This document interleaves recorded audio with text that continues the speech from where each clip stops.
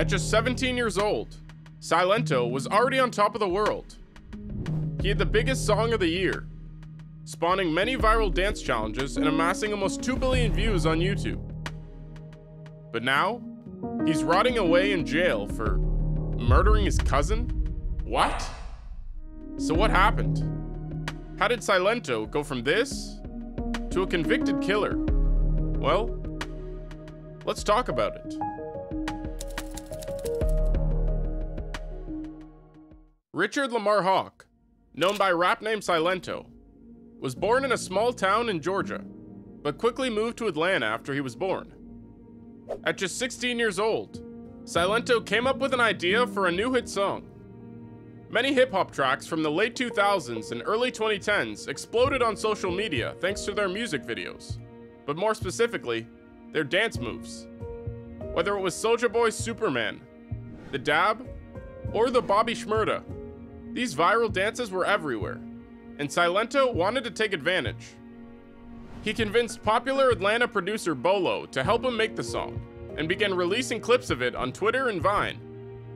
These videos quickly gained traction, and other creators began making their own videos recreating the dances. Silento became an overnight sensation, and used the success to sign with music label Capitol Records. He officially released his song Watch Me in March of 2015. Watch Me's catchy beat and dance forward content caught the attention of a startup known as DanceOn. DanceOn was a digital media company who partnered with dance creators and other popular influencers to help them promote their videos and their music. DanceOn used their content creators to make tutorial videos to Watch Me, naming it the Watch Me Dance On campaign. These videos quickly reached over 200 million views in just a few months, and pushed the song all the way up to number 3 in the Billboard Hot 100 rankings. A huge wave of success in such a short time would be terrifying for anybody, but Silento seemed to thrive in it. He appeared on various popular radio shows to promote the viral song, always sporting a lot of confidence and a positive attitude. Well polished young gentleman. I could not be more proud of this guy. He's getting it with 100% confidence and personality. Silento is a cool ass kid. He seems to have a good head on his shoulders. I hope that he stays grounded and positive. Silento kept the hype train rolling, posting the Watch Me music video on YouTube in June of 2015. It was set in a high school in Atlanta, with Silento performing each of the dance moves with students, cheerleaders, and various dance crews surrounding him. The video exploded on YouTube and now currently sits at just under 2 billion views. Celebrities and TV shows around the world were quick to jump on the trend, with some of the cringiest attempts at dancing ever seen. Break your legs, Come on, break them!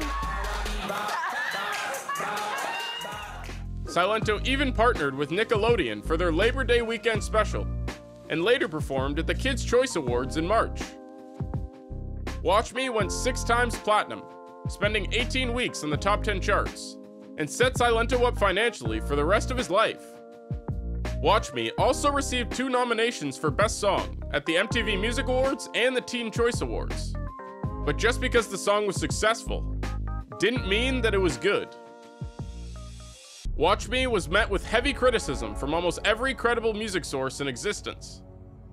It was ranked as 2015's second worst song by Rap Radar, and might have some of the worst lyrics ever written down. Silento was immediately given the title of a one hit wonder, being compared to absolute bangers like Rebecca Black's Friday and What Does the Fox Say? But the hate didn't seem to bother Silento at first, as he always had a smile on his face, taking pictures with fans and dancing with them at concerts. But that was just on the surface. In reality, Silento grew up in an extremely volatile environment, with drugs and abuse being very common in his house. I saw family members talking to walls. I watched family members fight. I watched family members try to kill each other. Nobody should have to watch that. Because of this, Silento struggled with depression and other mental health issues during his childhood, eventually landing him in juvie when he was 14. After the success of Watch Me Whip, the mass amounts of hate and disrespect for the song online started to affect Silento, and his depression returned once again. The overnight fame just added more pressure and judgment to a young kid that was already struggling. He'd reveal these issues to the world on an episode of The Doctors, revealing his dark past and how much the success of Watch Me really affected him. Silento's music career didn't fare any better, as he couldn't seem to shake the one hit wonder tag. His first two mixtapes, titled Fresh Outta High School Part 1 and 2, completely flopped, only managing a few hundred thousand streams each, well below the heights of his first single. While the music itself was a step up, the novelty of Silento had worn off a long time ago, and all that was left was some mediocre rapping over some really basic beats. Silento drifted further and further into obscurity, and his mental health paid the price for it. On August 28, 2020, Silento was arrested and charged with domestic violence. He got himself released the next day, but found himself right back in jail. The night of his first arrest, his girlfriend had allegedly posted some lewd pictures of Silento on Twitter. This sent him into a frenzy, and he ultimately walked into a stranger's house wielding a hatchet while supposedly looking for his girlfriend.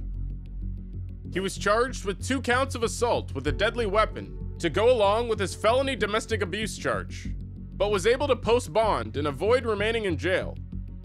Two months later, Silento was arrested again for speeding and reckless driving, as he was caught by police going 143 miles per hour on the interstate highway.